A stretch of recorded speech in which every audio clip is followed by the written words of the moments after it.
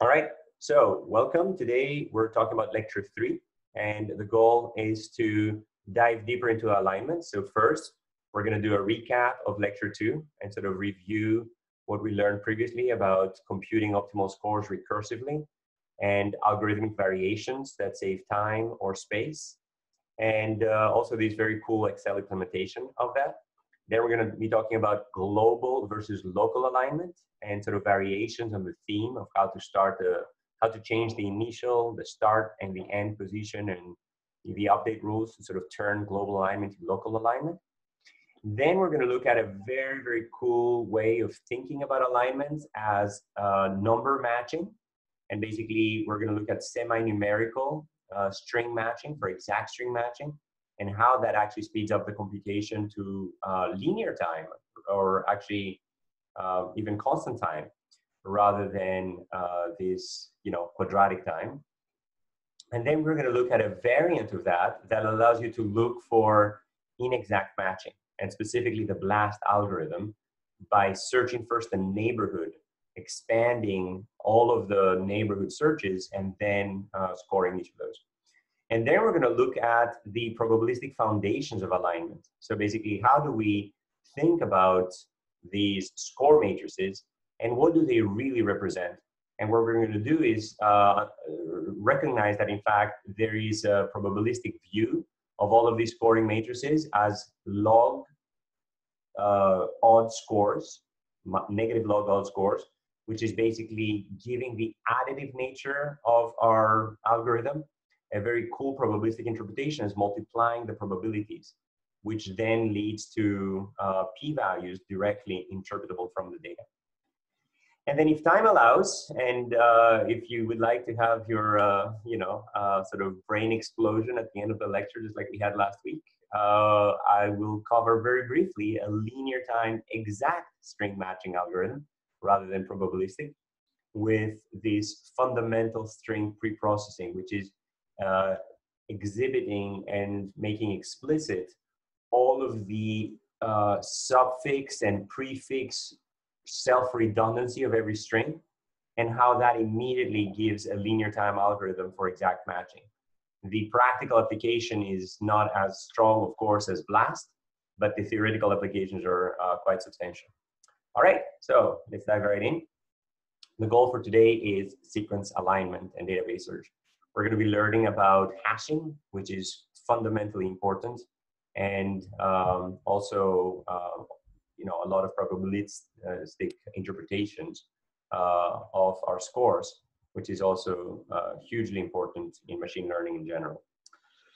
So, quick recap, lecture two. So the goal was to calculate the total score of aligning one string to another string and finding the edit distance between them that allows for insertions, mutations, and deletions. And then we saw that uh, mutations and preservation could be um, thought of as taking a shorter problem of aligning smaller substrings and then expanding those by a character from each of the strings in each case. And alternatively, you could build a longer alignment up from only extending one of the characters by one, uh, one of the sequences by one character, and then inserting a gap in the other one, and vice versa, inserting a gap in this one. And how we could create a matrix that stores all of these intermediate scores by having the uh, that matrix indexed by the length of the ith prefix of S and the length of the j prefix of S of S1 and of S2. And using those prefixes of increasing size as a way to create those longer alignments. And we could store those in different entries in the matrix and simply look up the score of the best possible score that I could have by aligning that, that prefix to that prefix is already stored there, so I don't need to compute all possible sub problems of that. Then we saw how this could be run across the entire matrix, effectively giving at the bottom the maximum possible score, and how we could trace back from that score to basically create an alignment. And the traceback procedure would be moving either diagonally through this matrix or horizontally or vertically in each case corresponding to an insertion of a character or from both sequences, i.e. a match or a mismatch when the two characters don't uh, agree, or an insertion from only one sequence as I'm constructing that alignment moving back. Again, illustrating these principles of dynamic programming, I could compute the locally optimal score at every position, but the globally optimal score would only be possible by tracing back because this particular locally optimal score is not necessarily part of the globally optimal solution. So I'm saving the choices that I make for the computation of every locally optimal score, and I'm reusing these choices in constructing the globally optimal solution in a second step, which is the trace back. So in the first step, I compute forward, and then I trace back. And we saw how there was this beautiful duality between scores in the matrix and maximum scores of the prefix alignment of the ith prefix of S1 and the jth prefix of, X, of S2, and paths through the matrix, which basically correspond to all possible alignments, inserting a lot of gaps this way and then a lot of gaps that way, or matching a lot of characters as I'm moving diagonally. So there was the duality of best alignment, best path.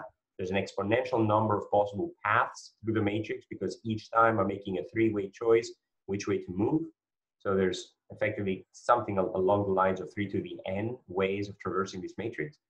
But we could search through the best path across all of these exponential number of possible solutions by uh, creating this dynamic programming matrix and then tracing back all in quadratic time, which is polynomial, which is much, much better than uh, exponential. So that's the difference between, I don't know, 3 to the 1,000 versus a 1,000 squared. So a 1,000 squared is a million, three to the thousand is, you know, if you had a universe for every, atom in our universe a hundred times, that's basically what, you know, three to the thousand means, which is ridiculously large. And then we saw how we could only compute things based on these local computation scores and how we could traverse the matrix horizontally, vertically, diagonally, as long as the previous, um, as long as the previous subproblems that we will need in the current subproblem are already solved and available. And then we saw two very cool modifications uh, to this theme, to algorithmic variations.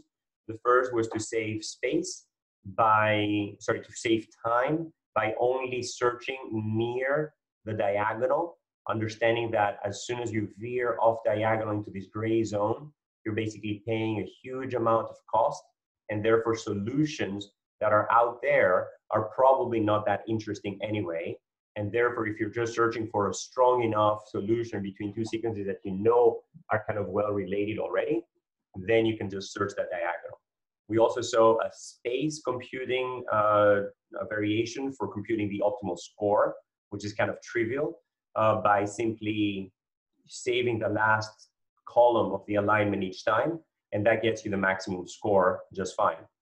Then we saw uh, uh modification of this linear space maximum score computation that could not only compute the maximum score, but could also compute the uh, max the, the best path through that score. So that algorithm is basically uh, to recursively compute the forward path going all the way to the middle of that matrix the reverse path going all the way to the middle of that matrix, and then adding up the two to find the best traversal, and then recursively computing this out. And again, you don't have to worry about um, you know all of the details of that algorithm. Then we saw this very cool way of doing all of that in an Excel spreadsheet, which is kind of cool. Uh, you can basically enter your uh, scores here, your gap score, your match and mismatch uh, score for purines and pyrimidines, and then type in your sequences here, and then out come the direct scores of matching a character to a character, reading from that matrix, the maximum score for every matrix Mij in um, the prefix i and the prefix j of the two characters, and then whether that maximum score matches the score computed from the top, from the diagonal left, or from the left uh, in these symbols, and then lastly the traceback and of course the computation of um, appending those sequences. All of that can be done in Excel spreadsheet, which is kind of fun because you can basically create these cool bifurcations. You can play with the scoring scheme. You can play with the characters up, up there, and uh, so on and so forth. All right, so who's with me so far? Let's see. Uh, how well are you remembering the last lecture?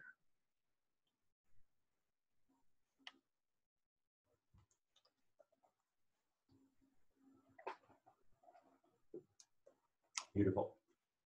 All right, so we have 247200. All right, so today we're gonna dive deeper into alignments. First, we're gonna look at what does local alignment mean compared to global alignment, and we're gonna look at the Needleman-Wunsch algorithm uh, and the Smith-Waterman algorithm as two varieties for both global and local alignment, and then how to vary gap penalties and various algorithmic speedups. So what is local alignment? Local alignment basically says I don't care to align the whole string S to the whole string T. I'm just going to create a sub-alignment of a portion of S to a portion of T. So a local alignment of strings S and T is an alignment of a substring of S with a substring of T. Why do we care about local alignments? Because, for example, very small domains of a gene might be the only conserved portions. So if I only care about the domain, um, you know, of, I don't know, that that's a transmembrane domain or a I don't know, RNA binding domain of a protein, and I don't really care about the rest of the protein. I just care about that domain. Or I might be looking for a small gene in a large chromosome. So I might be, you know, searching for that gene uh, in a long chromosome, and you know, maybe the whole gene is not conserved. Maybe it's just a small portion of the gene. Or because when I look at two large chromosomes, large segments very often undergo rearrangements. So then I kind of want to sort of focus on the subset of these regions that are truly orthologous, that are truly related evolutionarily, rather than forcing a single path through that matrix. I might want to sort of create multiple paths through that matrix.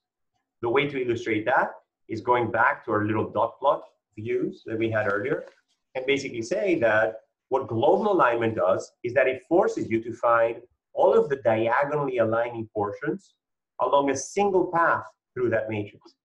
Whereas what local alignment does is that it allows you to say, well, hey, there's a strong, a strong match between this portion here and that portion there. And there's another strong match between here and there. And there's another strong match here, another, another, another strong match there. I don't necessarily need to be able to thread them all together. I just need to sort of, you know, reveal that, wow, this gene seems to have moved and it's not the end of the world. And forcing me to sort of create a single path would basically create an alignment of only this portion, you know, B to B and C to C, missing out on A and D, or A and C, but missing out on the other two, or those two, and so on and so forth. Whereas the true alignment is simply corresponding to a series of rearrangements where this portion B is here, this portion D is here, this portion A moved, and this portion C moved. Okay? Uh, does everybody see this?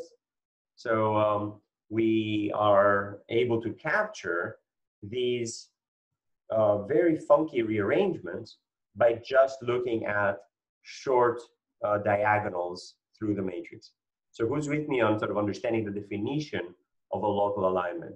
Basically, the goal is we're only going to look for portions of a of the two sequences that are matching rather than the whole thing. And biologically, this is very meaningful in a series of uh, rearrangements, for example, of genes in a chromosome or domains in a protein. So uh, 29, 1, 0, 0, 0. That's great. Um, the problem, however, is that local alignment is not necessarily well defined. And the reason for that is that I don't really know if I should be expanding a further, if I should be, you know, sort of using the maximal uh, high scoring portion as the, you know, I mean, where do I stop? If there's some weak match sort of flanking this, do I include this weak match or not? What constitutes an, optimal local alignment? So we're going to talk a little bit about that as we start looking at the algorithms for local alignment. So the first question is, how do we transform our global alignment procedure into a local alignment procedure? If anybody wants to raise their hand and take a stab at answering or just unmuting yourself, what would I need to do to transform the Needleman-Wunsch algorithm, which is this global alignment algorithm, into the Smith-Waterman algorithm, which is this local alignment algorithm.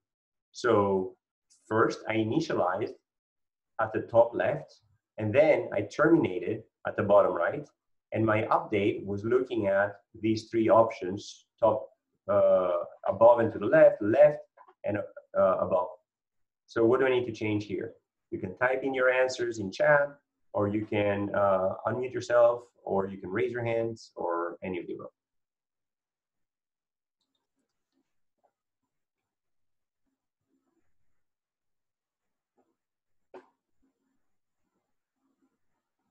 So um, I see a couple of answers. That's great. Allow termination anywhere. So uh, Sonia, you're absolutely right. So Thomas changed the termination. That's right too. So allow termination everywhere. That's brilliant. What else do I need to do? Type in your answers or raise your hands or speak up. And the TAs, since I don't have the view of everyone, if somebody, um, yeah, initialize anywhere. Lily, that's absolutely right. Andrew, also allow initiation everywhere. That's brilliant. So instead of initializing only there, I can just start anywhere. Anything else?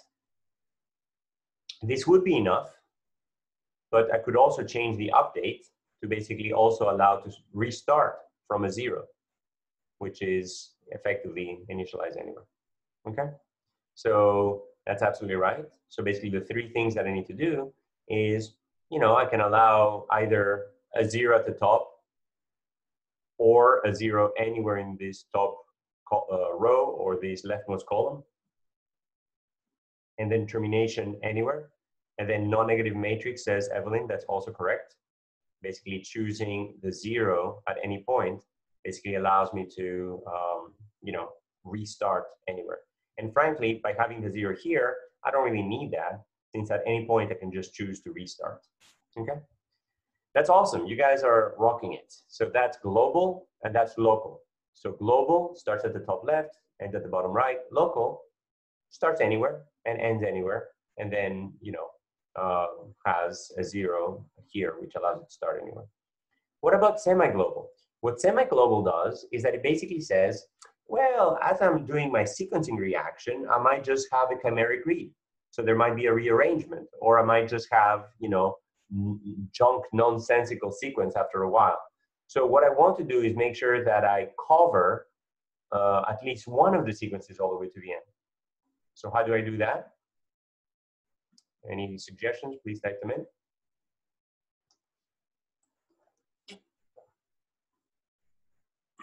in.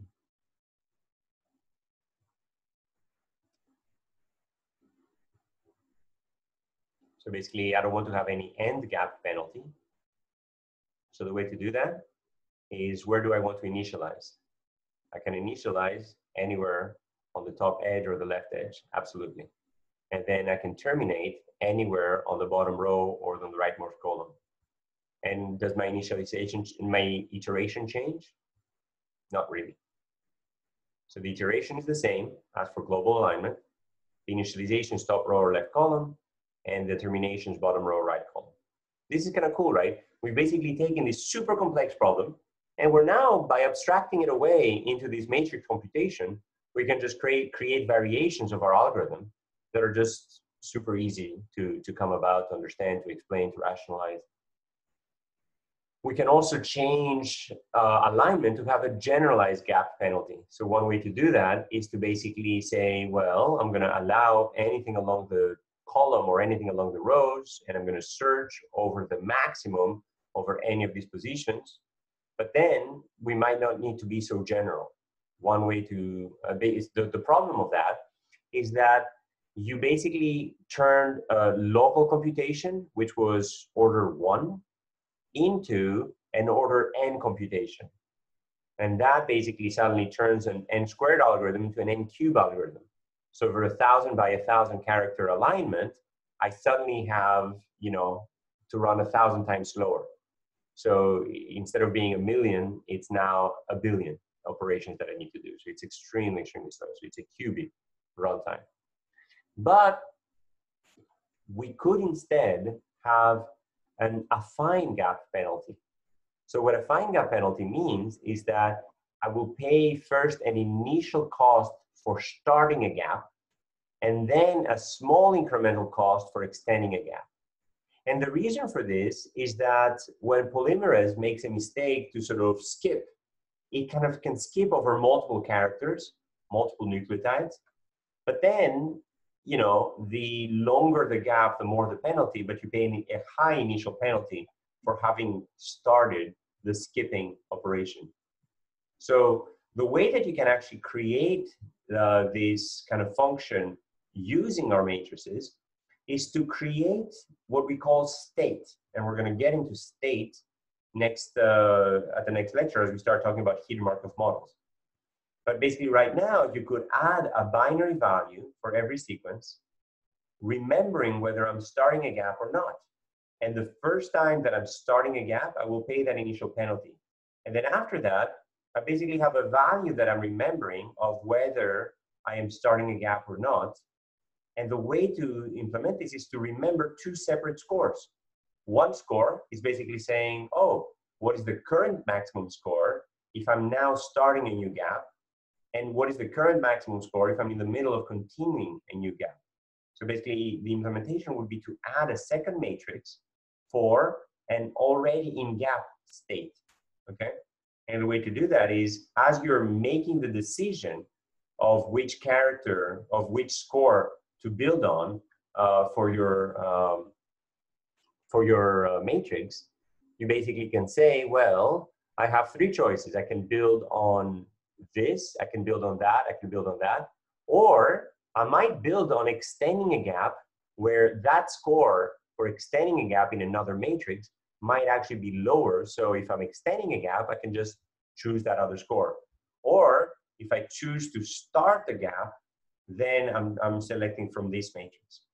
Okay, so let's see who's with me on this additional matrix for remembering the state of I'm now starting a new um, uh, you know gap. Then I sort of store the score of being in a gap. But then if I extend an existing gap, I can just look up more uh, from the previous one. So here I would have one more option for looking at the matrix with an additional gap.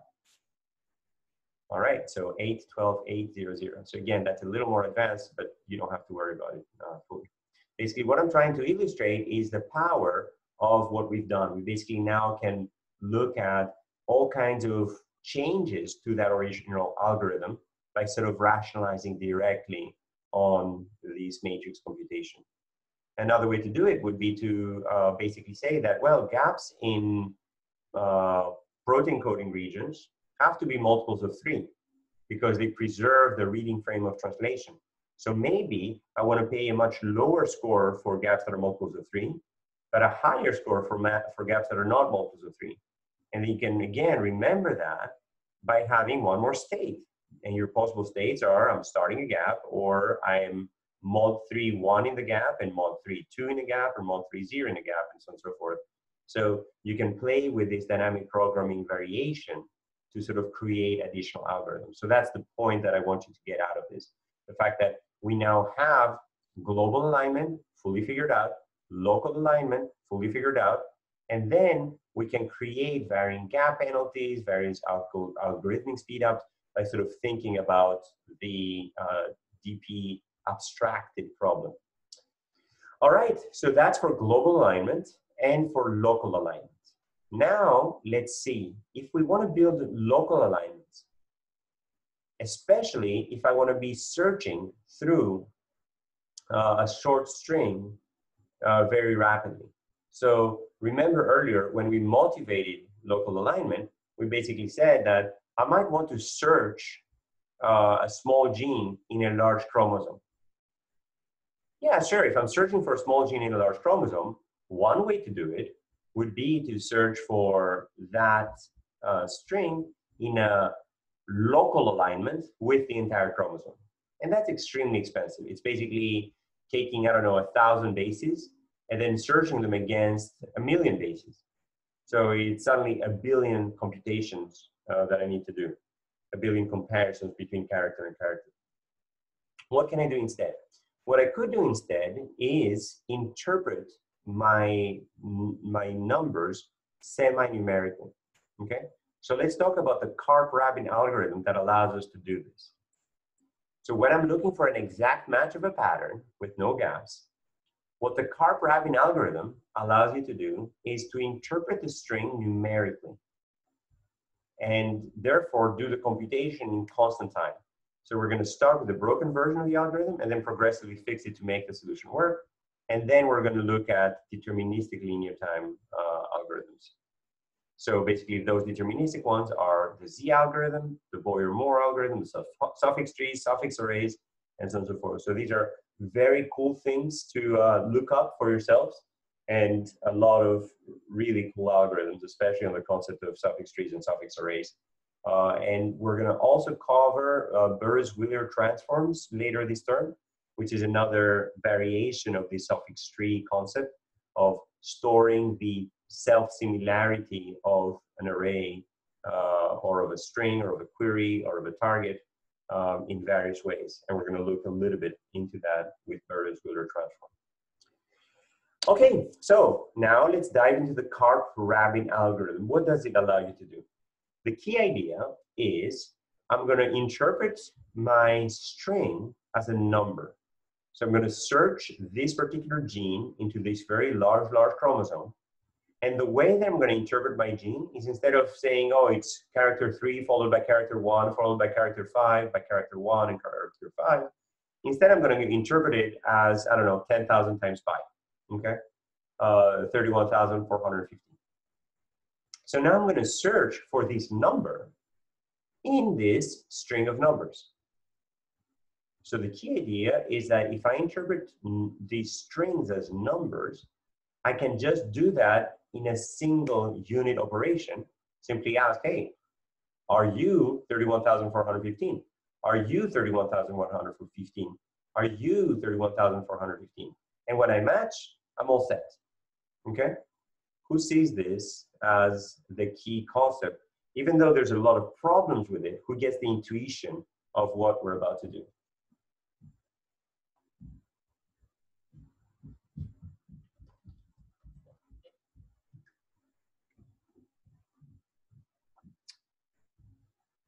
So Erez is asking, this is clearly not element-wise mapping. So first of all, 25, 5, 22, 5, 1, 1, 0. Um, this is clearly not element-wise mapping, more than four integers. How you choose the window size. So my window size might be my string itself. And then we're going to talk about window size when we talk about the BLAST algorithm. But for now, my window size is the entire string. So I'm searching for this whole number. And therefore, my window size is dictated by my string. All right, so this is nice and cool. Everybody gets the intuition behind that. But now we have also on any computer, you can only process, yeah, of course. So um, we're gonna talk about that, uh, Guillaume, uh, very shortly. All right, so the key idea is, you know, we're not gonna do this, and then this number is gonna be 23,000, 35,000, 59,000, and so on and so forth, and eventually Y7 is gonna be 31,000. So the quick little program is compute x, basically, you know, my query. And then for every i, compute yi, basically compute each of these numbers. And then if that matches, then print, hey, there's a match, okay? this obviously doesn't work. And the reason it doesn't work is because um, it takes us a long time to compute this number from the previous one. Sorry, to compute this number. So basically to compute 31,415 from this, I need to basically take five, add it to 10 times five, uh, sorry, one times 10, and then add that to four times 100, add that to one times 10,000, or sorry, one times a thousand, and add that to three times 10,000. So basically for every um, power of 10, as I go through these strings, I basically need to do uh, an addition and a multiplication, which is basically a linear time computation. So I kind of blew it there. However, we're going to see how we can compute the next number based on the previous one and therefore go back to an order one computation. So how is that? Well, suppose that I've already computed 31,415. How do I compute 14,152 in a constant number of operations? So to do this, I need to figure out a function that will transform this number into this number using a constant number of steps. So can anybody see what those steps might be? So notice that the middle, 1415, is the same. So what I need to do is add the three at the front, sorry, remove the three at the front and add the two at the back. And then shift these numbers by one. So how do I do that? Super easy. To compute the new number, I basically take the old number, subtract 10,000 times whatever digit that was to get rid of that digit. So that basically gets rid of the three, and I have 1415.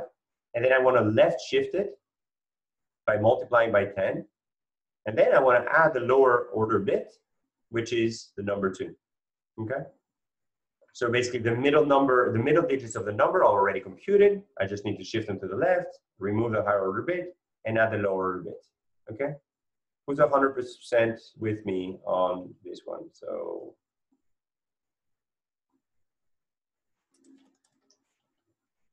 very cool. This is cool, right? So basically I can now compute all of these numbers super, super fast because I can reuse the computation. You guys are masters at reusing computation, huh? So I can basically uh, compute my number. So 272100. All right, so there's a, there's a new problem that arises, of course, which is, you know, I come in and I'm like, oh, great, I want to match a string of length 1,000 against the chromosome of length a million. So uh, great, I'm to have all these thousand digit numbers in my computer. Uh, and these are some very, very big numbers. So the problem is that the computer simply doesn't have the power to compute, uh, you know, on such long numbers. So to get the order n time, we need to perform every operation in constant time. But if the arguments are, you know, m bits long, this can actually take order of m time. So if I have a thousand long, um, a thousand character number, um, I need to somehow compute every part separately because my machine can only fit 32 bits at a time, not a thousand bits at a time. So what we need to do is actually reduce the range of the numbers to something more manageable. Okay? So one way to do that is hashing. So what is hashing? Hashing is a very cool fundamental computer science technique to basically map a very large universe, U, into an itty bitty little space. So I'm going to basically select K, which is a key that I'm hashing, from a huge universe. This is the universe of all 1,000 digit numbers. Okay, that's an enormous universe. It can represent basically two to the 1,000 possibilities, way, way more than the number of universes in every atom of our universe and so on and so forth. Okay, so to do this enormous mapping into a tiny little space, we're going to basically, quote unquote, hash every key into a smaller space. So one hash function might be to, I don't know, add up all the bits and then, you know, uh, do this progressive adding of bits across different parts. Another one might be to take the modulo. Another one might be to just take the first 20 bits of my number or the last 20 bits of my number, okay? So what are desirable properties of a hash function? So we want it to be reproducible so that every time I compute this function on the same two numbers, uh, the hash is matched. Basically, if x matches y, then I want the hash of x to match the hash of y. Basically, the hash of x is always the same. And the other hugely important property, and it sounds super trivial, but it's hard to obtain, is that there's a uniform output distribution. So even though I'm taking this enormous insights, you know, starting space, when I compute out of it, I want I want to cover the entire set of numbers. Okay, so the way to think about this is that I have an enormous space that I'm trying to map into a smaller space. I want the coverage of this smaller space to be kind of uniform. I don't want all of the numbers to map right here. Okay, I don't want I don't want that. I want, and I don't want this either, okay? What I want, because then there's unused spaces. If I have this, basically all of the numbers are gonna be landing on the same space, and that's not very desirable because it leads to what we're gonna call collisions, okay? what I would like is some kind of uniformity in the way that I that I match the characters, so that as I take this enormous space and I map it into this tiny, tiny little space, I cover most of the tiny space. I don't just cover a tiny fraction of that tiny space. Okay. Uh, let's see who's with me so far on hashing and this desirable uniformity in the distribution with which I'm mapping these huge space of numbers into this tiny, tiny little space. I want that tiny little space to be uniformly covered.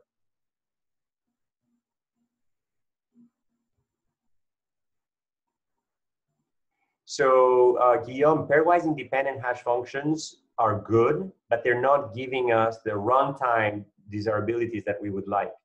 In order for the runtime desirabilities to actually match, we need this additional uniformity. Okay, so uh, 235301. Um, okay, so how do we achieve this? How do we basically map this huge space into this tiny little space? while covering that space uniformly for any input distribution. The way to do that is to make sure that your, um, that your hash result depends on all of the bits of the initial number. Basically, if I only take some of the bits, then you know I, am much more likely to, to generate these collisions. Okay, so one way to do this hashing is to basically uh, do the mod 13. And mod 13 basically does depend on all of the digits because it's effectively, um, you know, like creating that number wheel and then going around it, uh, you know, every 13, you kind of come back to itself. And that basically means that um, these numbers, if they're sort of uniformly distributed in that universe, they're going to be uni uniformly distributed in that other uh, smaller space. Okay. So this is one way to hash, to basically take this very, very large space and then map it onto simply the mod 13 of that, which basically for 31,415 corresponds to 7. And then for 14,158, 2 corresponds to 8. Okay? And the beauty of that is that I'm, as I'm computing the next number based on the previous number, all of these operations I can do mod 13. Okay, so that's very important because I don't want to be computing on thousand digit long numbers. I want to computing on very small numbers. And of course, instead of 13 here, I'm going to have, I don't know, 13, 13 or 13, 13, 13, just like something much, much smaller than all of the numbers in, you know, between zero and two to the 1000. Okay. So that's what the hashing will do. So basically, uh, hashing basically has resolved this problem of while these numbers were very long, but it has created a new problem, which is collisions. So what are collisions? I've been using this term already. A collision is when the hash of x matches the hash of y. It's the same, but x is actually different from y.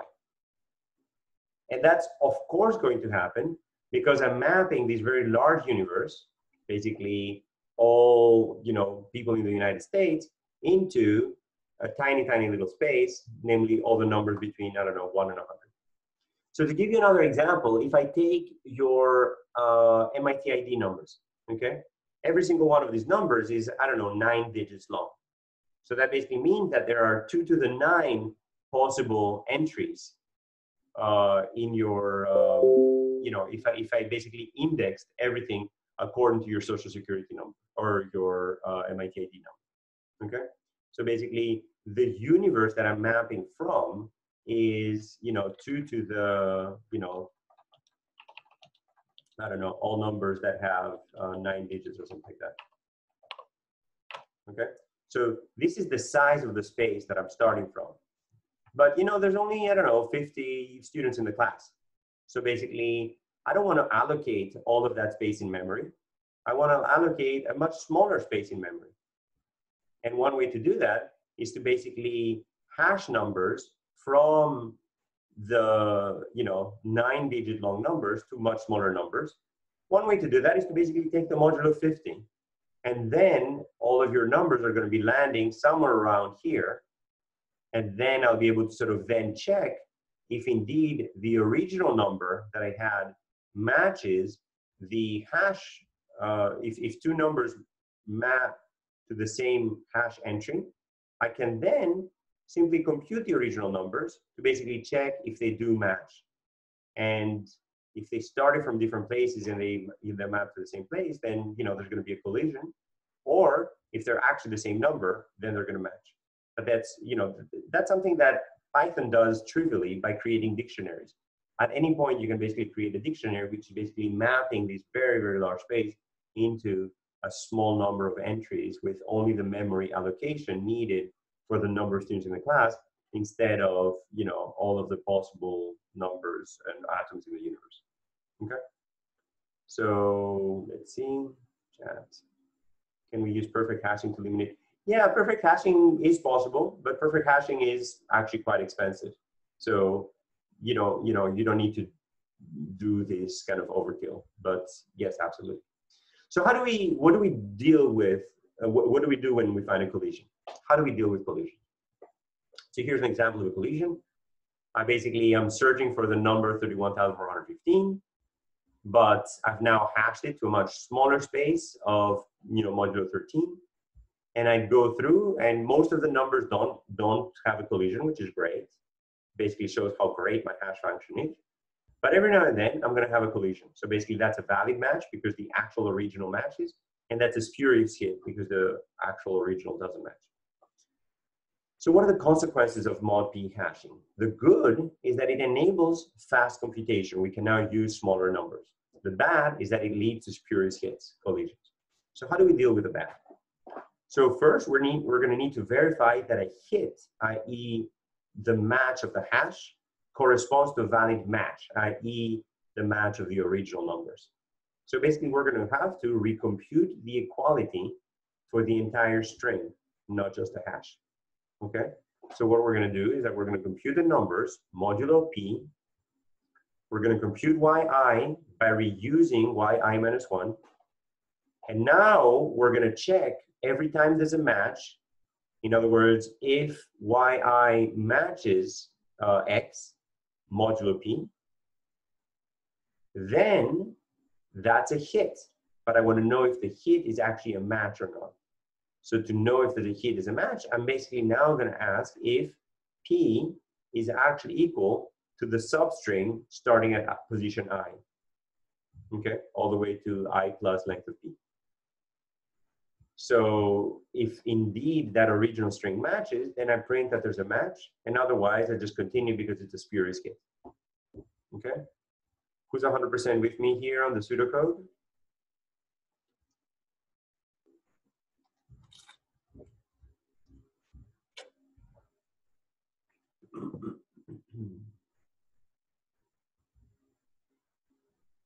Okay, so 26300. That's great. Um, so there's another question in the chat. Are Monte Carlo algorithms acceptable in this context? Let's talk about this offline, yeah. Um, so the um, so basically the end result is that I've now managed to uh, compute things in linear time. However, every now and then I'm going to pay this quadratic time. Okay, every now and then I'm gonna have to pay the full cost. So basically every single one of my computations is now constant time, but every now and then I'll have to pay linear time. And that means that our, my algorithm in the worst case will be quadratic, but in the best case, it will be linear because I will have to pay this only a certain number of times. So the reason why we want this uniform distribution in hashing is because we only want to pay for this linear time uh, penalty one out of m times rather than all the time, okay? Where m is the subspace that I'm mapping things into. Could we do another round of hashing with a different mod to reduce? Absolutely. So now uh, this is a great suggestion. So basically now is basically saying, hey, why don't I hash twice? So I can hash one mod p and one mod p plus two or something like that. And then mod p plus two, you know, I don't know, 13 and 11.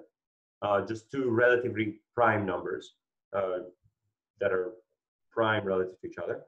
Um, And then that basically means that I'm reducing that probability of collision by another factor of n, which is uh, quite remarkable. So um, basically, the reason why we're trying to make sure that the hit that the that the spurious hits happen infrequently is because then it sort of scales up our total compute.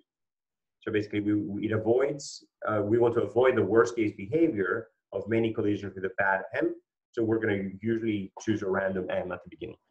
So the other challenge is that both the algorithm and the analysis become more complex. We're going to now have to compute the expected runtime rather than the deterministic runtime because the best case runtime is linear. The worst case runtime is quadratic. But the expected runtime depends on how often I'm going to have to go back and check the original string when I didn't really have to. So we're going to have to show that the probability of a spurious hit is small and therefore that the expected runtime is linear. Okay? So um, to put it all together, we're going to basically compute uh, the match by interpreting strings as numbers, thus enabling a very fast computation. And there are other semi-numerical methods like fast Fourier transform, shift and, etc. And to make all of this work, we're going to have to basically compute the next number based on the previous one, rather than the order n computation that we had before. That gives us an order one computation. We're going to hash modulo p to keep the number small. That's again an order one computation instead of order n computation because of these thousand character long numbers. And then we're going to have to deal with collisions, and that's suddenly where you have a randomized uh, expected runtime. It's a randomized probability uh, algorithm, and then that gives us order one in expectation. Okay, so uh, let's see who's with me so far on um, this whole part two of semi-numerical string matching.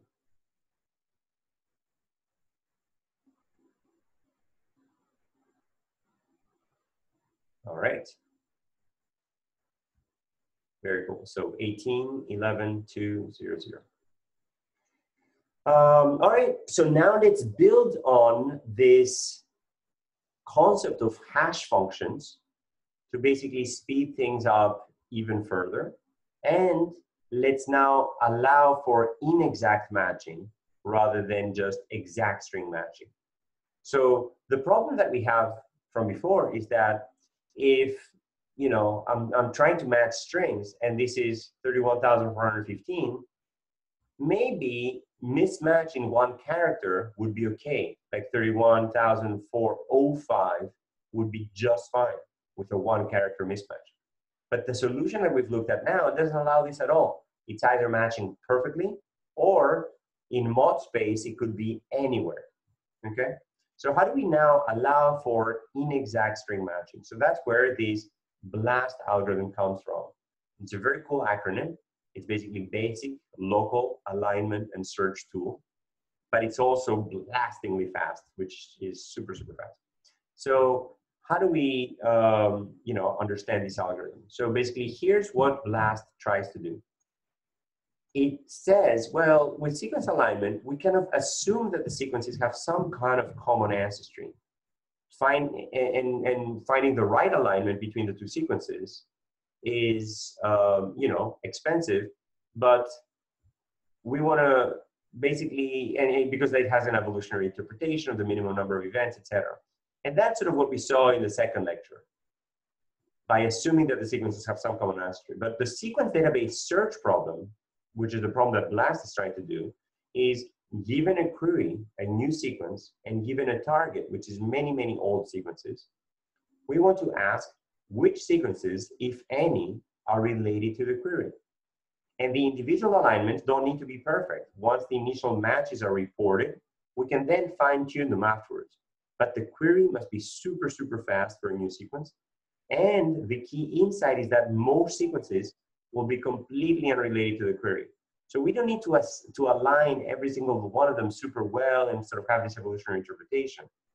So what we're gonna do is exploit the distinct nature of the database search problem. How?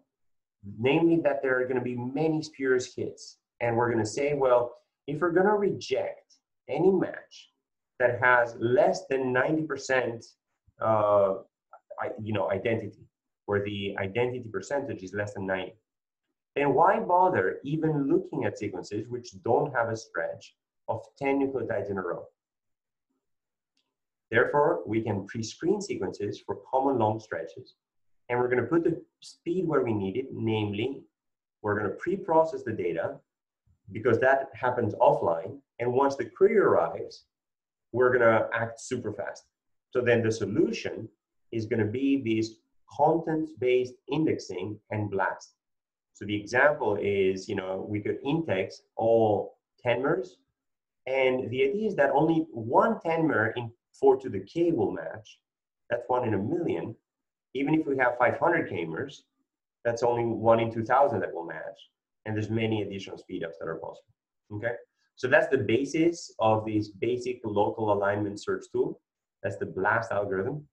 And if you look at the uh, BLAST algorithm, it was developed, you know, back in 1990, and it still continues to have 4,000 citations every year. So that has a total of 55,000 citations. And that's just for the first version. The second version, Gapped BLAST and PSI-BLAST, has another 55,000 citations. So, uh, you know, many of us would say, oh, great, I have this awesome paper, let me work on something else now. But no, they said, well, let's make it even better. So uh, what were the two key insights? One insight is hashing. Just like Karp-Rabin, this semi-numerical string matching. So it's basically taking these numbers and then hashing them, computing them as a number. The second key insight is this neighborhood search, where we are allowing to find hits even when there's not a single exact k-mer that matches. So let me explain. I receive my query, and then I split it into overlapping words of length W. Okay, so I'm gonna chop it up into three mers, and then I'm gonna effectively hash all of these threemers to basically then expand them out into a longer match. And now I'm working on amino acid space rather than uh, nucleotide space. Okay. So the key idea of the neighborhood search is that instead of simply hashing the exact string, knowing how well amino acids match to each other, knowing how similar amino acids are in, I don't know, functional space, we're going to basically expand the neighborhood of all possible three amino acid strings that are sufficiently similar to my query word up until some threshold. Okay, so PQG has the you know total um, score of 18, and I might have a score of I don't know 80% of that or 70% of that, and then go all the way down to 13, and then consider all neighbors of that, and then go and hash all of the neighbors in my database. Okay. So the key idea that's different from what Karp-Rabin was doing is that we're creating this hash table and we're searching this hash table by looking for all of the neighbors of our word up until some threshold. Okay, so we're splitting the query into overlapping words. We're finding the neighborhood words for every word until some threshold t. And then we're going to look up in our table where these neighborhood words occur by creating this giant hash table that basically tells us for every, I don't know, three mer in our sequence, what are all of the places where this three mer occurs in our database. And then once we have the hit, we're going to extend it to look for a match which is sufficiently high up until some score X. Okay, and then we're going to report the significance and the alignment for every one of those matches. Okay, so just to recap, we take our query, we break it up into uh, sets of threemers, and then for every threemer, we're going to expand this neighborhood and then search that neighborhood and expand that into a match. So let's see who's with me so far on the BLAST algorithm. And I'll be right back.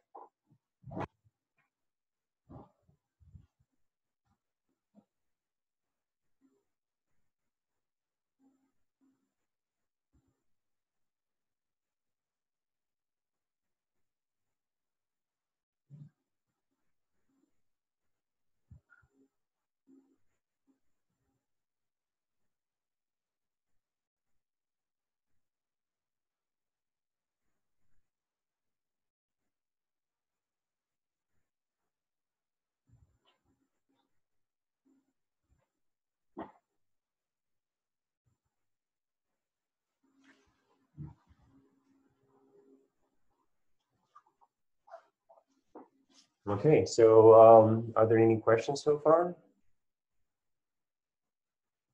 So 14, 12, 330. So um, type in your questions. So again, the key idea here is that I'm going to create one giant database that tells me for every 10 mer or for every 3 mer, where does it exist in my database, in my, in my sort of set of sequences, in my genome.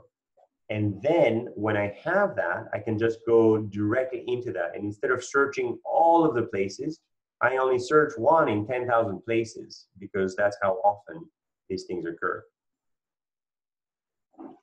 Uh, yes, Guillaume, we're going to look at locally sensitive hashing variants shortly. All right, so why does this even work? And the reason for that is that, um, you know, if I know that two things are going to be quite similar, like 90% similar, then I only have so many mismatches to distribute in my whole sequence. So basically, if I know that my query is going to be 90% similar to my target, then I can just search all of the neighborhoods to basically look for uh, matches. And yeah, this one might not match, and this one might not match, but this one might match. And therefore, I have a lot of opportunities to find a hit and then extend that hit out. Why do we process the neighborhood for the query instead of pre-processing on the original string and just having more entries in the hash table instead?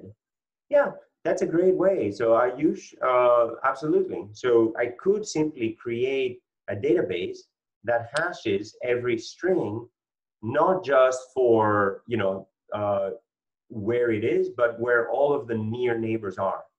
The reason why we're doing the neighborhood search on the query rather than on the database is because it allows us to tune the parameter. Because if I did the neighborhood expansion on the database, I would have to choose only one threshold from the beginning. Whereas by doing it at query time, I'm basically allowing the threshold to be chosen uh, at that at that time. Any other questions?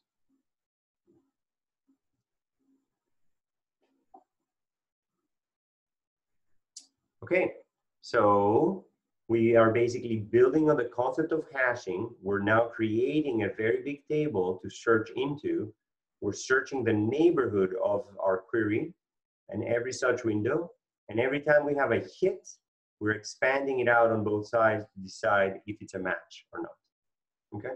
And the reason why it works, as I mentioned earlier, is because we only have so many places where we can put those mismatches. A very simple idea of uh, why this works is that if you have you know two pigeons and three holes, there must be at least one hole with no pigeon.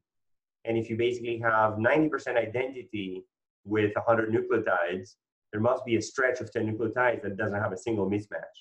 And in practice, there's going to be more pigeons per hole because of the way that you distribute those. But even in the worst case, you're going to have a strong enough uh, match. So basically, if you have these two pigeons to distribute, these two mismatches to distribute, chances are there's going to be a stretch with no pigeons at all, with no mismatches.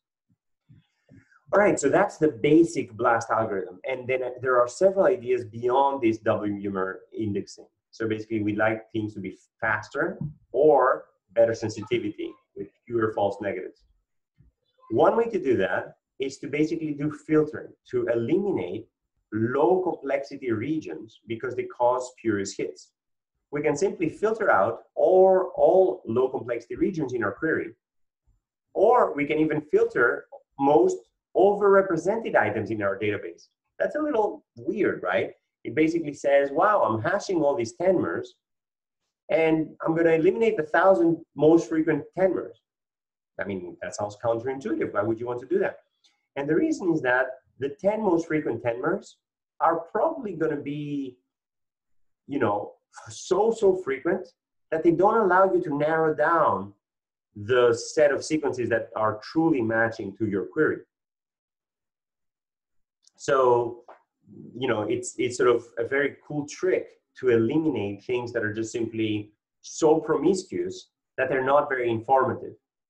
What's information content? Information content is basically sort of if I ask a yes no question, it should limit the space by half. if I ask, oh, is the suspect a human? Uh, it's not really informative. The suspect is most likely human.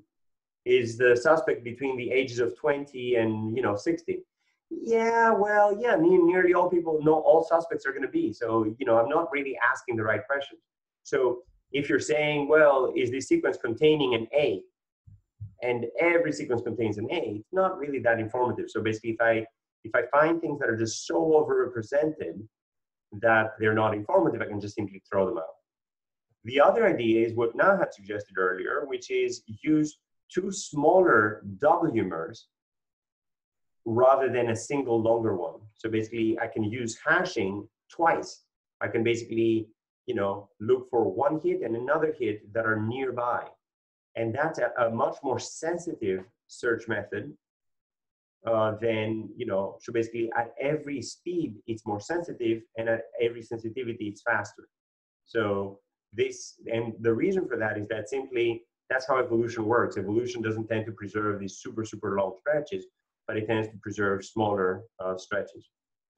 And then, uh, you know, Guillaume suggested uh, locality sensitive hashing. So beyond W-mers, I could search for non-consecutive W-mers. So basically, one way is to basically search for um, a lower dimensional projection of my tenmer into a four dimensional space rather than a 10 dimensional space. And then the key idea here is that I'm going to search with a comb where only certain characters matter and other characters are wildcards. And I can first decide on this wildcard. And then that's sort of the random projections idea that Califano introduced and that Indyk uh, sort of improved upon.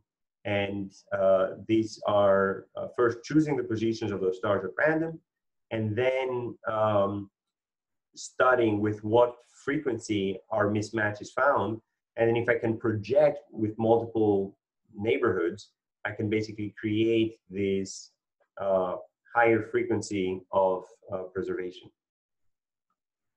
All right, so that's the BLAST algorithm. The whole concept is that we're gonna be hashing, just like for the linear time string matching in the Karp-Rabin algorithm, but we're gonna create this very large hash table and we're gonna search that hash table using neighborhood search. And there's some very cool modifications like two hit blast and hashing with combs. So let's see, who's with me so far on the third part, this blast uh, algorithm?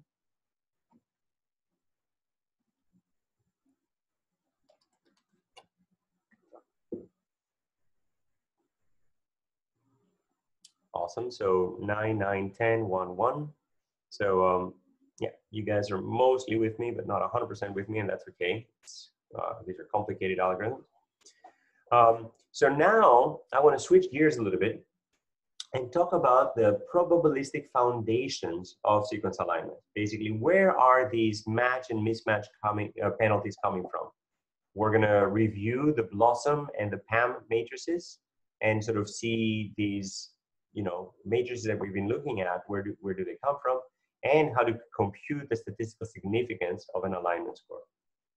Okay, so when we saw this query word, PQG, we basically said, well, PEG is a close enough match, PRG is a close enough match, and so on and so forth, up until down here. Okay, how did we decide which characters are close enough? How did we search through that? Well, the place where this comes from are matrices that basically tell you what should be my penalty for substituting this amino acid with that amino acid, okay? And then, you know, sometimes I have a strong penalty of, I don't know, minus three. Sometimes I have a big reward of four or one and so on and so forth. So uh, that's in protein space. That's basically how we search for that neighborhood in protein space. But it's the same thing that we did earlier when we looked at nucleotide space. Basically, in some cases, we decided to reward matches by the same amount and to penalize mismatches by different amounts based on whether uh, you know an A was swapped with a G or a C with a T, which are transitions versus transversions for all other substitutions, which are much more unlikely. So where do these scores come from? And how do we know whether two aligned sequences are actually related or not? So what should these alignment scores represent? Well, what they should represent is the probability that two similar sequences are indeed evolutionarily related. In other words, homologous. What is the likelihood ratio between two different hypotheses? The first hypothesis is that the alignment that I'm observing is due to chance. That's the unrelated hypothesis. The second hypothesis is that the alignment that I'm observing is actually due to common ancestry. That's the related hypothesis. And what I want to do is calculate the probability of observing the alignment that I observe according to each hypothesis. So what is the probability that X is aligned on top of Y given the unrelated model versus the related model? Okay, what's the, prob the probability of aligning X on top of Y exactly the way that I have them by model U or by model R? So the alignment score should represent the likelihood ratio between the two hypotheses, namely the probability that the alignment is not due to chance is simply the likelihood ratio between pxy given related divided by pxy given unrelated. And I could compute as a score the log of that probability. And the aha moment that I want you to eventually get is that additive matrices do exactly that, okay? Additive matrices are basically computing exactly that likelihood ratio. So let's expand out the probability to get to that moment. So the, pro the model for two unrelated sequences is simply the probability of aligning every character of X on top of every character of Y is the independent sampling of every character of X and the independent sampling of every character of Y. So every one of them is just the you know the product of sampling each of the characters and the product of sampling each of the other characters. Okay. The probability of aligning x and y given the related model is basically the probability of observing the pairs of characters at every one of those positions. And that should be given to us by the probability that these amino acids indeed land on top of each other in you know alignments that I observe. Okay. So therefore, the likelihood ratio between the related model and the unrelated model is this related probability P of having amino acid A on top of amino acid G which is basically the product of this at every position of the alignment. And then the second one is this product of these independent terms at every position, which is basically the product of these two independent probabilities at every position. And the reason why I do this is because I want to sort of have the common I at every position and then take the log of all that. So the log probability, the log odds ratio is simply the product of all of the logs, which is simply the sum of the logs, which is simply the product of the unrelated model divided by the, sorry, the related model divided by the unrelated model at every position i. Okay, so this is the frequencies of individual characters, and that's the frequency with which those characters are observed on top of each other. And how do I get this? So first of all, let's get to that aha moment. So if I take the sum of the log probabilities, I will basically have the related versus unrelated likelihood ratio, the log likelihood ratio. And that's simply the score that I have for my probability matrix.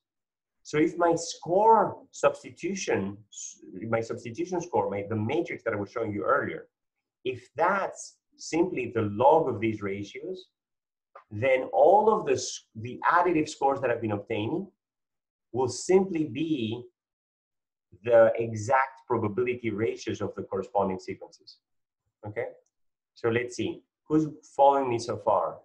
If I take basically this log ratio and I add it up in this additive way of my alignment scores, the exact same machinery that I was using earlier to compute these additive scores will effectively be giving me likelihood ratios as long as I have these uh, two probabilities factored in there. All right, so this is not looking so great. So 7, 10, 6, 3, 2. So hopefully once everything comes together, you guys will uh, get higher there. So there's two popular sets of matrices for protein sequences. There's PAM matrices and BLOSUM matrices that try to capture the relative substitution of amino acid pairs in the context of evolution. Okay? What these matrices basically tell you is the frequency with which I expect to see amino acids on top of each other if the two sequences are related versus if the two sequences are unrelated. Okay? So what the BLOSUM 62 matrix is doing is basically looking at blocks sum at 62% identity. And it's basically saying with what frequency do I expect to see these um, two amino acids on top of each other, if they're related or if they're unrelated. It's the likelihood ratio between the two. Notice that along the diagonal, the numbers are in fact changing quite a lot. Matching a tryptophan to a tryptophan gives me a score of 11, whereas matching an isoleucine to an isoleucine gives me a score of 4. Why is that? Because tryptophans are more rare. They're much more likely to be ending up aligned on top of each other by chance. Whereas isoleucine to isoleucine, given that it's a more common amino acid, these are much more likely to be aligned on top of each other due to chance. Also, if I match a leucine to an isoleucine, I still get a positive score. I get actually a reward for a mismatch. And the reason for that is that, you know, biochemically they're very similar. And therefore, evolution switches them very often. And therefore, when I look at these frequencies with which these amino acids are found on top of each other in related versus unrelated sequences, they're much more likely to be related if I see them on top of each other. So basically, the substitution matrix score for every pair AB is simply the frequency with which I find them on top of each other versus what I would expect by chance. And I can build these matrices using this exact principle. And therefore, as I add up my scores, these numbers, I can train them directly on blocks of aligned and blocks of randomly occurring pairs of characters. And these blocks are basically going to be dictated straight from these um, amino acid substitution penalties, which is basically going to be uh, corresponding directly to that alignment score. So to recap, putting it all together, what we were doing in that spreadsheet where we were looking up these values of what is the penalty that I should pay for aligning an A into a C or an A into a G. If I use numbers that stem directly from that likelihood ratio of how frequently do I see them together in a true aligned set of sequences versus a uh, random set of sequences, then whatever score I'm computing by adding up all these numbers throughout my alignment and throughout my dynamic programming matrix to get to the bottom, all of these scores are going to have an immediate probabilistic interpretation, which is going to be exactly the likelihood ratio of observing this alignment given the related model or given the unrelated model. So that's basically coming full circle and connecting these initial substitution matrices and those scores with the likelihood ratio of those alignments. So that gives me directly the probability of an alignment given this related or unrelated model. And how do we build these matrices in the first place? So what Henikoff and Henikoff, husband and wife, did in PNAS in 1992 is that they estimated these probabilities from blocks of sequence fragments that represent structurally conserved regions in the proteins. And they built such blocks with proteins that were at 60% uh, sequence identity, 50% sequence identity, for 45% sequence identity. So they had structurally aligned them and they said, aha, these must correspond. And then they built those together. Okay? So let's see.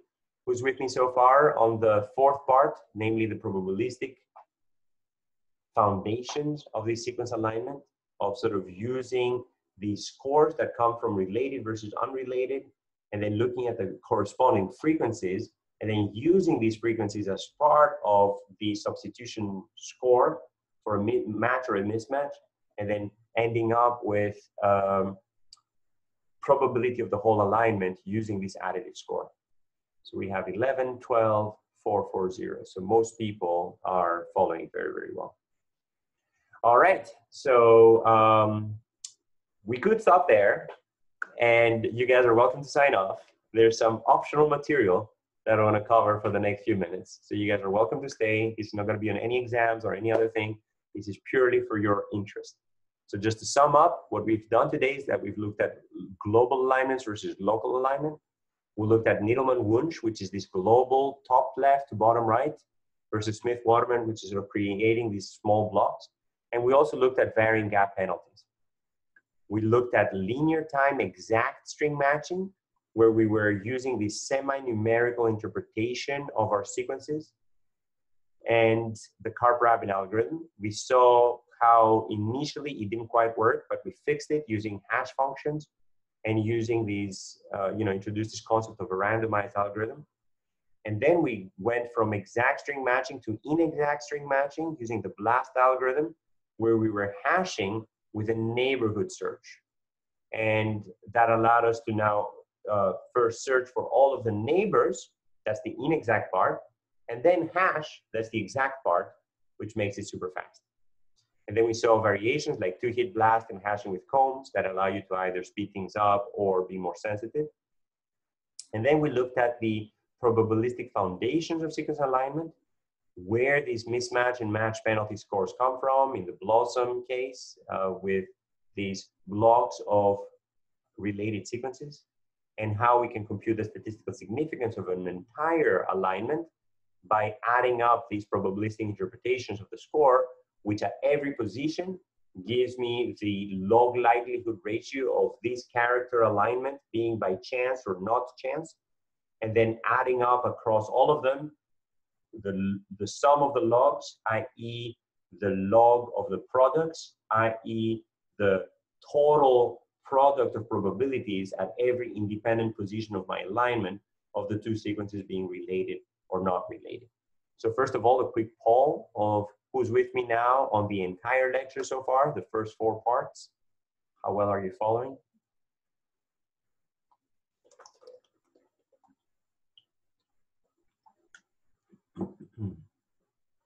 Great.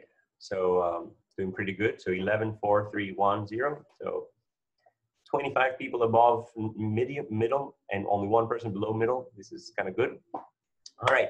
So now let's talk about deterministic linear time exact string matching. Again, this is all optional material. So the key idea is that we want to gather more information from every comparison. What we want to do is um, pre-process our string to find the in the, the string self-similarity. And for those of you who have another class, this will be all in YouTube very short. So what I want to search is a string P inside a longer string T, a pattern inside a text. I want, I want to find all of the occurrences of P in T, which are exact matches in linear time. How do I do that? So one way to do that is to basically just simply scan that into this every single time matching the corresponding characters. However, I can do better than that. I can basically uh, realize that, wait a minute, every time I have a mismatch here, I can just make a, a bigger jump.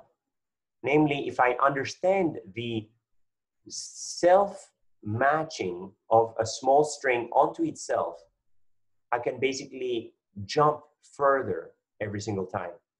So if all of the characters in the pattern are the same, then I can basically say, oh, I have a match, match.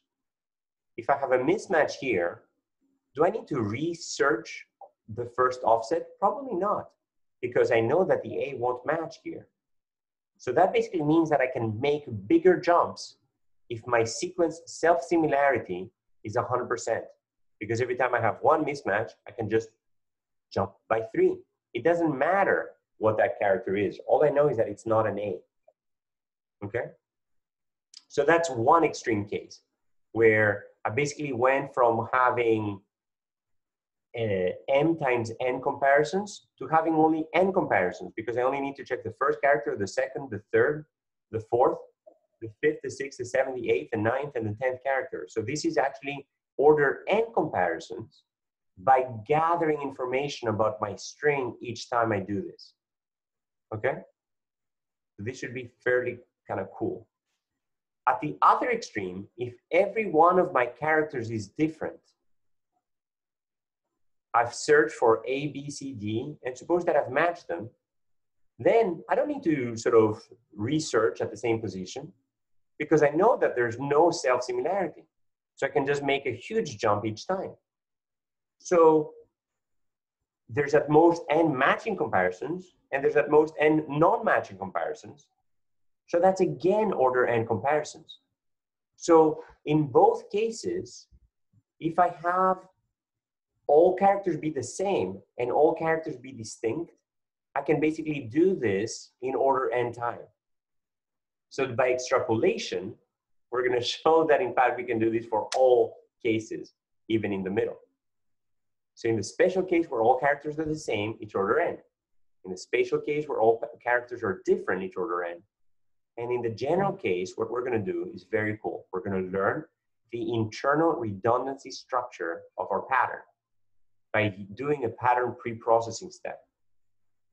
And the, the three methods for that are fundamental pre-processing, Knuth-Morris-Pratt, or finite state machine. So how am I going to learn the internal redundancy structure of a string? So what I want to know is this z vector that basically tells me the length over which the current string matches the beginning of that string, okay? So over here at position five, the length over which the string, the suffix starting at that position, the length over which this matches the prefix of that string is three okay? So because AAB matches AAB, but X is different from C, so that basically means that the length of that Z vector, the Z vector basically tells me the length of the internal redundancy of that substring starting at that position versus the substring starting at the start position. Okay, who's with me so far on that internal redundancy vector, Z? That basically tells me what is the length over which I'm matching myself at the beginning of the string versus the position at the string that I'm at now. This is awesome. So um, we have 87230. This is awesome. So therefore, I'm going to define this thing called a Z box that basically tells me for how long am I matching myself at the beginning. Okay. And then I'm going to define the R vector to basically tell me what is the right position over which the longest Z box that I'm in ends. Okay? And then, of course, the left position is going to basically say what is the starting position of the longest Z box that just ended where I am now. Okay? So at every character K, I will have the left pointer and the right pointer basically tell me both sides and the key question is, can we compute the z vector, the right pointers, and the left pointers in linear time?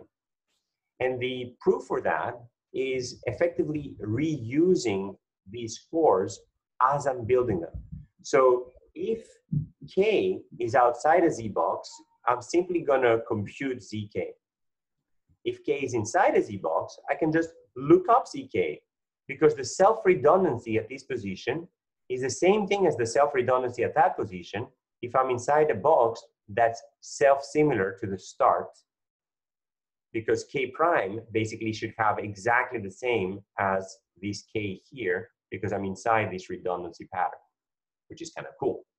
So if I exploit this redundancy to basically compute this vector, then I can just simply compute every position from the left all the way to the right by either computing it or reusing it. And in both cases, I can still compute it in linear time, which is uh, you know very important. So if you basically get this intuition, you can of course look at the slides to get you know all of the details. But if I get if you get this intuition, I can simply compute the z vector by reusing this left and the right vector and you know reusing my computation. And the coolest part of it all is that if I can compute all of these things in linear time, then I can basically simply concatenate my pattern and my text with a nonsensical character in the middle that doesn't exist in either the pattern or the text.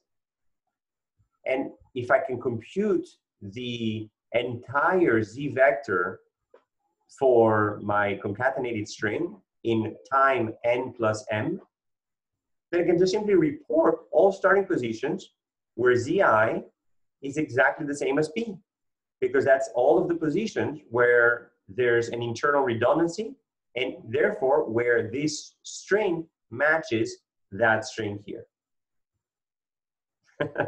so it's, it's kind of cool. All right, who feels that this was uh, kind of cool? So let's see, relaunch the following. Uh, sorry, who, who, who, who gets this?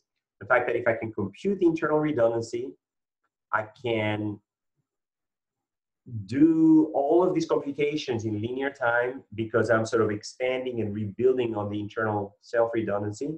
And then as I get to the end of that string, I effectively have, you know, the entire computation uh, effectively done. Awesome. So uh, we have uh, 55210. This is awesome. And that's the deterministic linear time, at least sketch of an idea to basically complete these uh, linear uh, searches. All right, so on Thursday, we're gonna talk about uh, hidden Markov models, and uh, on Friday, we're gonna have another one of those uh, mentoring sessions. Thank you guys, thanks for staying over time, and then uh, looking forward to seeing you all soon. Bye-bye.